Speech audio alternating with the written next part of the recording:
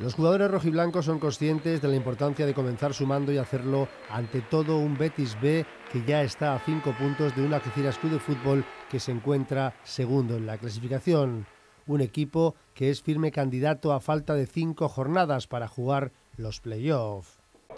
Sí, la verdad que sabemos que era un partido importantísimo para empezar con buen pie en la segunda fase. También sabíamos el rival que teníamos delante, que, que es muy buen equipo pero el equipo ha trabajado muy bien durante toda la semana, teníamos la idea muy clara y se ha visto reflejado en el campo y los tres puntos se quedan en casa. El equipo tiene un sueño y lo intentarán lograr. Para Canillas, la unión de este gran grupo hace la fuerza.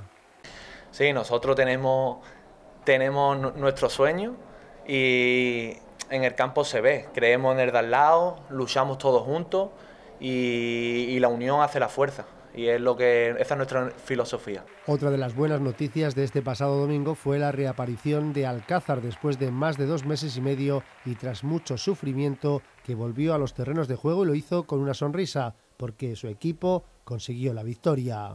Sí, si te digo la verdad que han sido muy duros y, y desde el primer momento que me lesioné yo no era consciente de, de, cómo, de cómo lo iba a llevar porque yo pensaba que iba a tener, iba a tener para menos tiempo y al final le tengo que dar las gracias a, a todo, a todo lo que han formado el Algeciras porque desde Laura hasta el míster, hasta cualquier persona que ha estado aquí ha estado apoyándome en estos dos meses y, ha sido a la vez de bonito, ha sido algo amargo porque ha sido una sensación el equipo no se encontraba bien y yo no podía hacer nada por estar ahí. Estaba en la grada mordiéndome la uña y nada, no me tocaba otra que, que no fuese animar. Pero ya está, ha pasado todo, estoy aquí, otra vez de vuelta y es, es lo importante.